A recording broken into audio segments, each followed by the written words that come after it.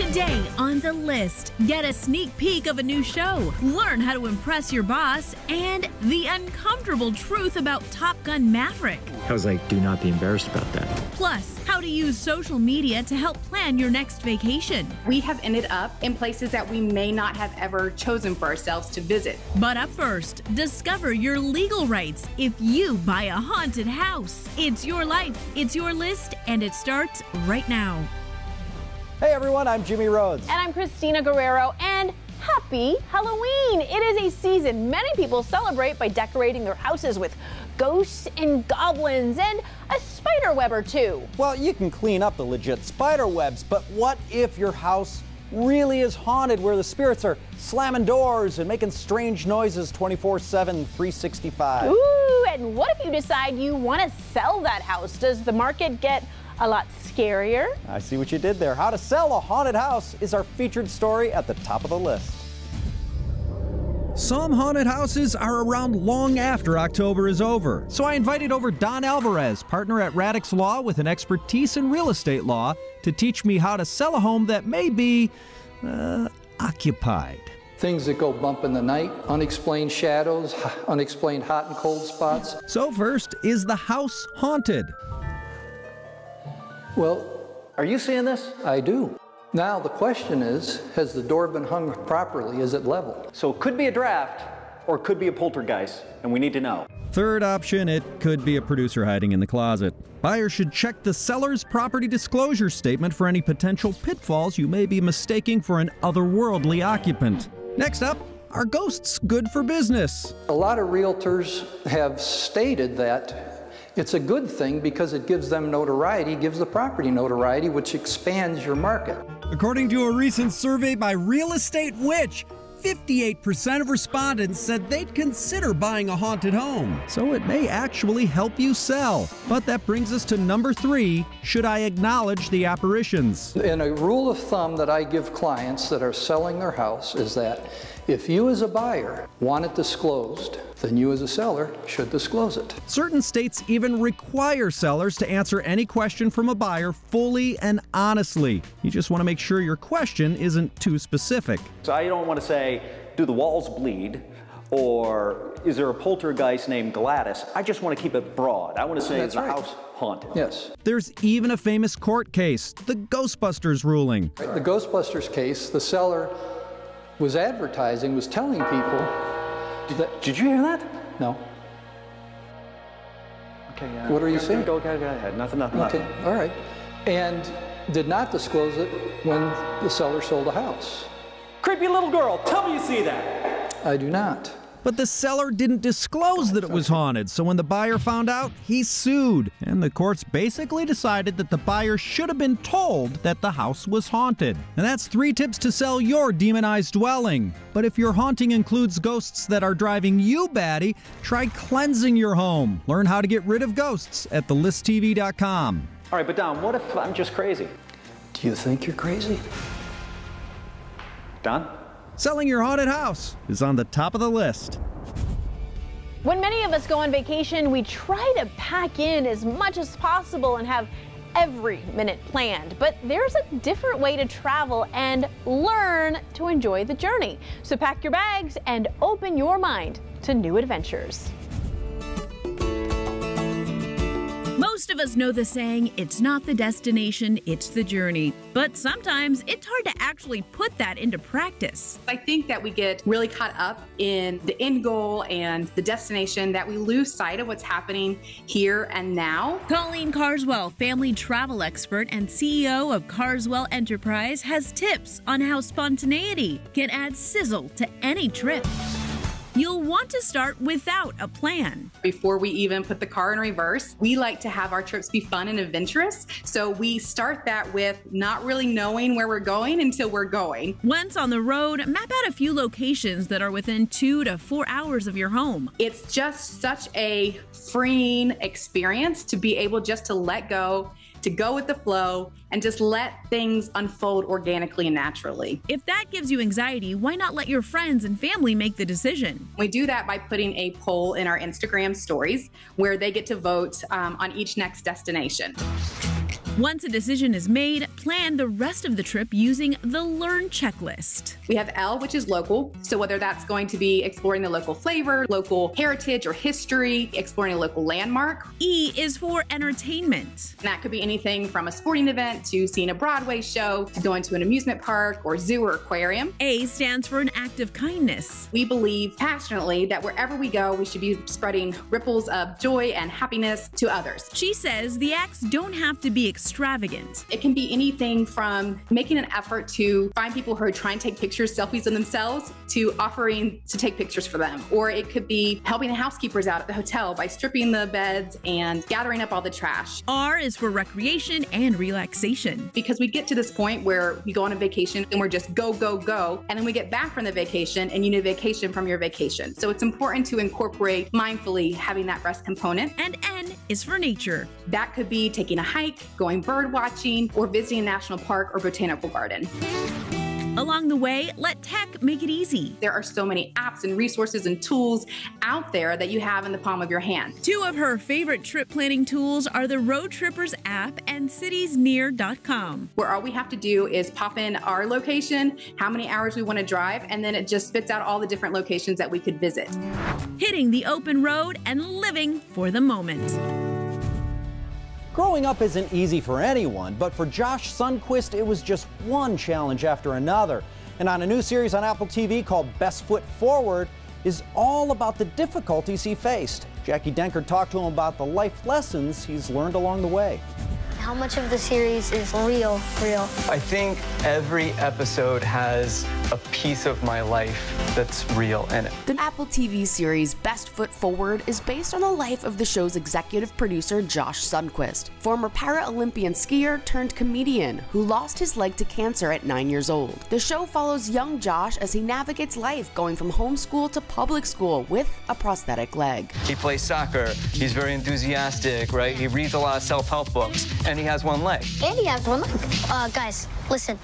I want to make friends because they like me, not because they feel bad for me. And we caught up with Josh to learn some life lessons about overcoming hardships. First, he talks the importance of acceptance. There's sort of like two kinds of obstacles in life. There's the kind that you can sort of push through or overcome. There's also the kind that ultimately you have to accept and surrender to and in that sense transcend. And for Josh? I had cancer, right? I have one leg. Those aren't things I can like change or like overcome. They're just part of me. They are my reality.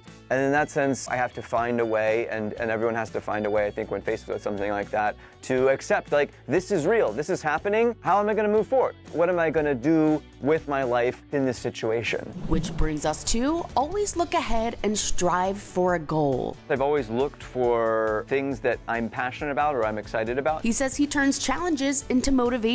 For example, going to the Paralympics, writing the book, making this series, whatever. And, and so to me, it's always about having a finish line in the future that I'm, uh, I'm excited to reach for. And I think that's what always uh, motivates me personally. Josh, you've been homeschooled your whole life, so public school is going to be challenging. Here we go. Finally, even though things get hard, there's always room for humor. My leg was fine. This was actually uh, an elective weight loss surgery. I find humor to be a great coping mechanism. You can't catch me on the gingerbread man. Somebody grab me a doctor.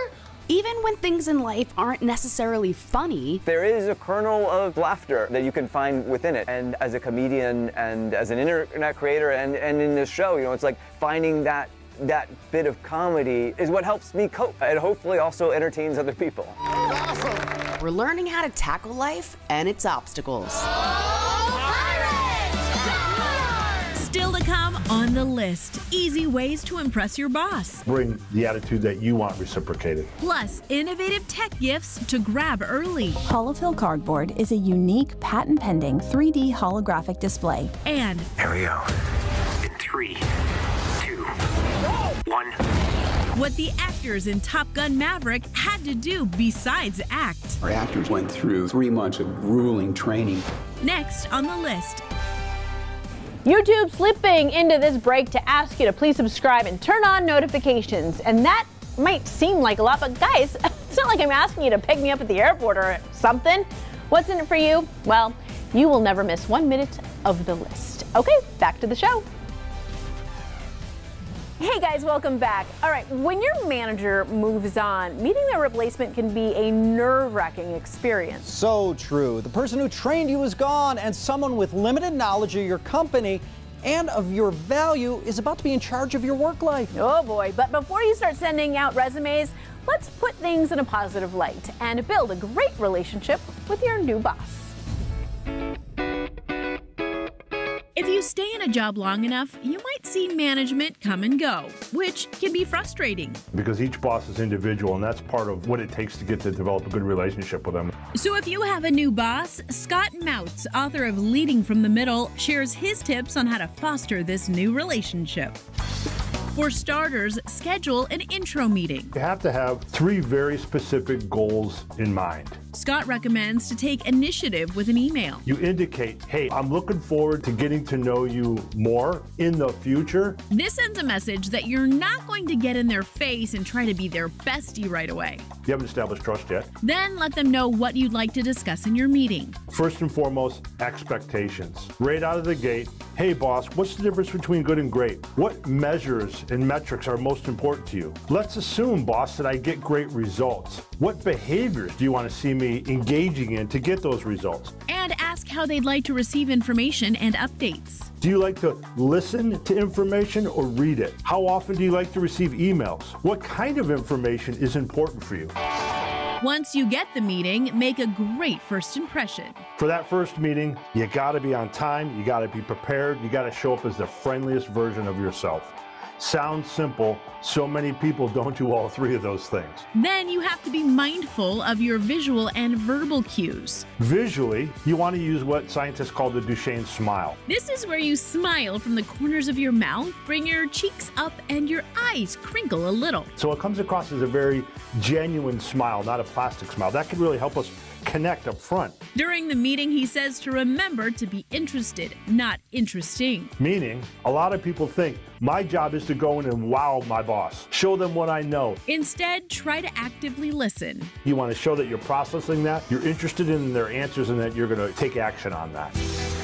Finally, avoid tripping into a toxic relationship. Relationships between boss and subordinate go toxic very quickly when you, as the employee, forget this. You forget that I actually need my boss and he or she needs me. I actually forget that he's imperfect or she's imperfect, just like I am. Forgetting this can lead to thoughts of disengagement or resentment that can subtly sabotage that relationship. When the employee really starts acting bitter towards the boss, and then they're surprised when the boss elevates their level of bitterness back and then it just goes down. He says bring the positivity. Somebody has to start with a positive attitude you may as well bring the attitude that you want reciprocated. Leveling up the meet and greet with a new boss. It can be hard to stay up to date with the ever growing, forever changing tech space, but luckily our crack team of producers here at The List is on the case. Here are three innovative gadgets that might make your life easier and that you can buy without breaking the bank. Coming in at number one, Holofill Cardboard. Holofill Cardboard is a unique patent pending 3D holographic display using your mobile phone to create cool holographic visual experiences. If you're bored staring at your mobile screens and you want to spice up your visual world, this might be the gadget for you. The applications are in areas such as interactive 3D gaming, improving social engagement, and interactive training with an incredible user engagement. Compatible with both Apple and Android, this gadget can be yours for about $80. You can create content for it using our software apps or using more advanced softwares. For more information, visit holofill.com. At number two, Unpluq. With Unpluq, distracting apps of your choice are blocked. If smartphones have taken over your life, this could be a game changer. You're in control of when to use those distracting apps, so you decide what to spend your time and attention on. But this doesn't mean giving up on social media. By simply tapping the unplugged tag on the back of your phone, you can resume access. Also, with schedules, you decide which apps are blocked during what day and time of the week. You can spend $60 on a yearly subscription or wait for special deals. For more information, visit unpluq.com and that's with a Q, not a C or a K, because tech people just love to misspell their names. In fact, the third item on our list also has a funky spelling, LapLok, but without the C. With LapLok, you can truly secure your devices at any time and any location. With more than 1,600 laptops stolen every day, this device focuses on much needed gadget security. The manufacturer says LapLok is strong, lightweight, and easy to use. With a touch of the button, your device is secure. To release the lock, just use the keypad to enter your three or four digit PIN. You're then unlocked, pull the bottom piece down, arm comes out of the LapLok. You're all set. Easy on, easy off. It sells for $75. For more details, visit laplok.com. Those were three affordable innovations that you might want to check out. And coming up, behind the scenes of the biggest blockbuster of the year thus far, Top Gun Maverick. Stay with us. You want the most out of life, and thelisttv.com is your one place to find it all. From money saving hacks to great family vacations to mouth watering recipes and the latest lifestyle trends. It's your life, it's your list, and it's on thelisttv.com.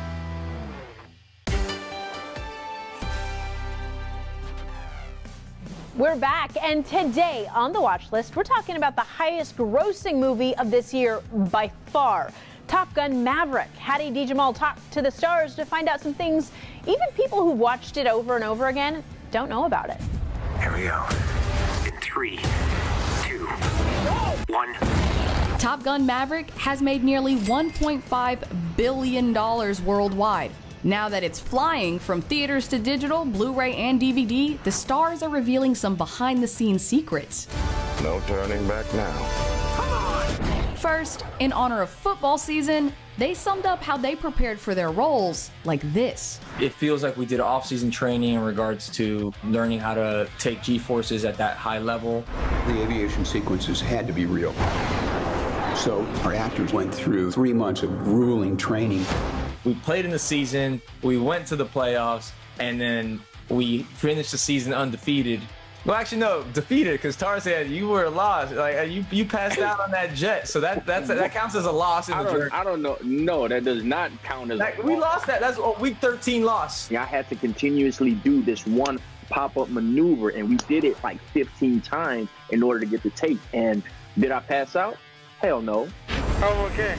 Everything was real. So, of course, you're going to have real life moments and real life people throwing up, throwing out their guts, which can also be considered a loss. That's someone scoring a touchdown on you. Doesn't mean you lost the game. During flight training, they would be embarrassed about puking. I was like, do not be embarrassed about that.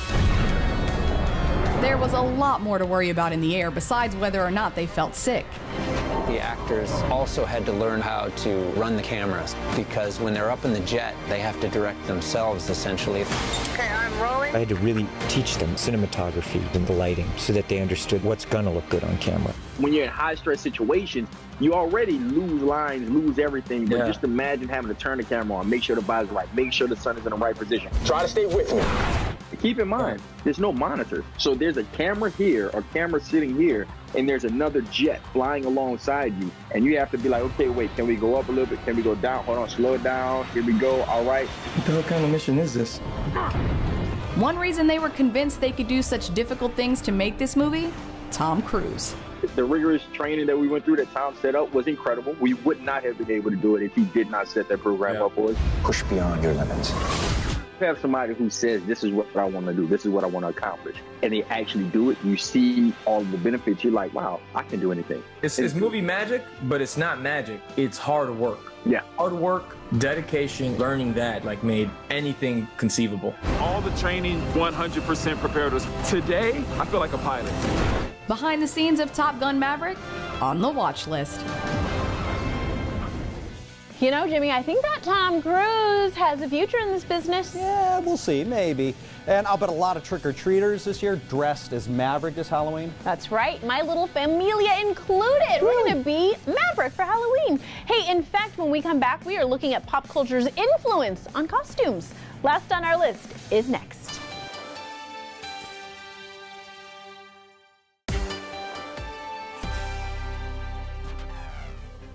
Welcome back. It's time for what's last on our list. And in honor of Halloween, how about this from Variety? The best pop culture Halloween costumes for 2022. All right, from the TV side, as you'd expect, House of the Dragon is huge. The robes, the wigs, the weapons, there's just a lot to dig your teeth into.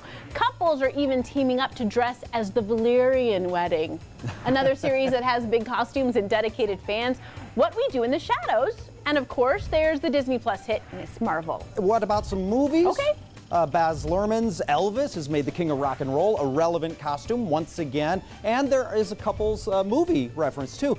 Barbie and Ken. Yes, well, pop culture is always an easy go-to Mm-hmm. for Halloween costumes. My Little Familia, for instance, we've done Ghostbusters, Spider-Man, Harry Potter, and in fact, you and I have both worn pop culture influenced costumes for the list. Yeah, you were absolutely terrifying as Pennywise from Yeah. Stephen King's It, and I hate clowns. Yeah, and you were a fetching 11 from Stranger Things when that first hit. On a scale of 1 to 10, I was an 11. You, you were definitely an 11. Well, whatever you dressed as or whether you wore a costume or not, we hope you've had a wonderful Halloween. Or for non participants, a wonderful Monday. Yes, and Monday can be terrifying. Yeah, candy anyway, helps. right?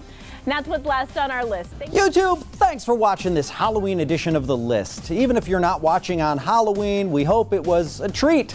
Haha. and here's a trick if you subscribe, you'll never miss the list. See what I did there? We'd love it if you could also give us a like and leave a comment down below. And if you're looking for a safe space to come down off that sugar high, well, how about some more episodes of The List? Here you go, just hydrate, put down that Kit Kat bar, and click away.